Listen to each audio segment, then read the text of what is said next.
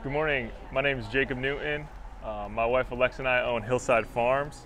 We produce um, grass-finished beef, pastured poultry, and pastured and forested pork. Um, we really believe in uh, getting our animals outside as much as possible in the sunlight, natural conditions, um, and that results in a great product for our clients. So about five years ago, we were considering relocating full-time to Alaska. I was working in Alaska. Alexa's a teacher and an opportunity came up at Homer Central. So we decided we were gonna make Central New York our foundation, our uh, area where we are gonna settle down. So we decided we'd like to get into raising our own food as we uh, kind of got into that subsistence lifestyle in Alaska. We bought some cattle. We purchased her uh, 80 acre farm uh, which has been in her family since 1941. And then we just started growing the business. And in 2021, we purchased um, a neighboring farm to us. And the help of COVID, we really spread out our products to low consumers and started coming to the market in November of 21. Our keystone, our main real high demand product is our uh, grass finished beef. We got a ribeye steak right here in the sirloin. We do ground beef, um, steaks, and uh, select roasts.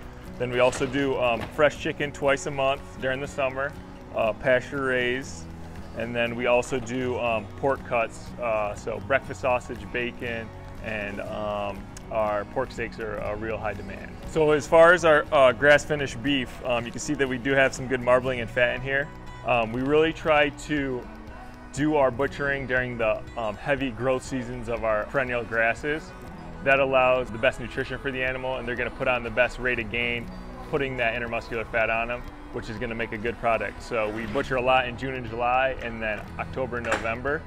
Um, we move our cattle every day, sometimes twice a day to new pasture, and then we let that rest for 30 to 40 days, and that gives us really good nutrient-rich grasses. And then as far as our poultry and pork, we really like to raise them on pasture, move them every day as well. That allows them to get more succulence because they're moving around, they're not in confinement and then also they're interacting with the soil so they're getting uh, nutrient uh, minerals and this actually seems to create a better product because they're both moving and then they're grazing on what is naturally growing there as well and uh, we get great reviews. We think our beef's really good, but if we were to say, you know, grocery store chicken and pork was here, our chicken and pork is way up here, and we get returning customers every week giving us great reviews. We really learned a lot in the last year of what a farmer market brings to the client. And not only you're gonna get superior product, you're gonna support the community as far as economically, but just the diversity of people that come to the market. You really get a sense of uh, hope and uh, good community, good relations with each other. And you kind of set aside, you know, that diversity uh, that we have in this country and you can really come together and all sorts of cultures interact with us here and we really learn a lot interacting with them. So we're at the regional market every Saturday. We're in E Shed on the train station side during the summer season, then we're in A Shed in the winter. We also do on-farm pickups and we do a summer farm tour as well as a fall farm tour. So if you're looking for us, we have the big social media presence on Instagram and on Facebook.